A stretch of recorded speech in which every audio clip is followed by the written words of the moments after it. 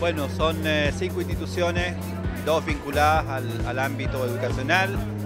el grupo Scout que, representa a toda esa gente que llegó desde el campamento, desde Subel, de Caletones, de Colón, a vivir en la ciudad de Rancagua, más el centro español por toda la vinculación que ha tenido la, colonia española desde el inicio, desde la fundación de la ciudad hasta el día de hoy,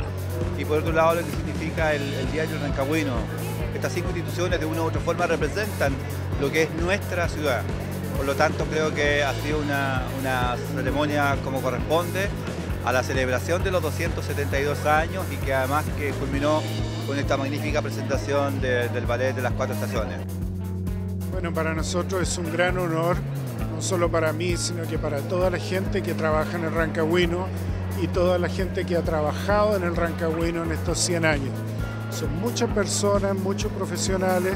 todos con el mismo cariño por la ciudad y por nuestra región.